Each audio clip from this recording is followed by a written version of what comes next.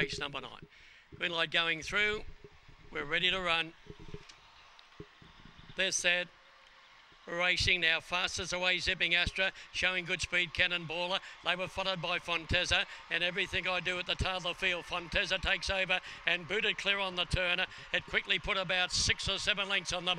Everything I do got into second place, followed by Zipping Astra and Cannonball, but Fonteza's got it one, is far too strong for them and beat everything I do. Zipping Astra, followed by Cannonball, fourth and last of all.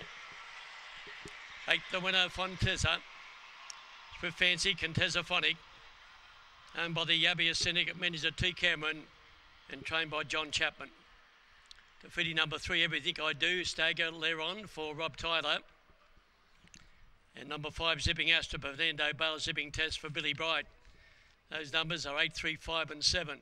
Run home 683, four and three quarter lengths. Margin between second and third ahead.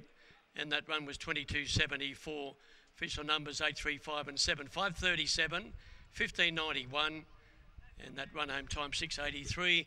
And on the tote, Fonteza. Final tote on there will pay around about uh, about a dollar seventy, a dollar seventy for number eight Fonteza. But it was a pretty easy win at the finish. Quickly shot clear around that first turn, and after that, never looked like getting beaten. Eight, three, five, and seven. Twenty-two seventy-four after race nine.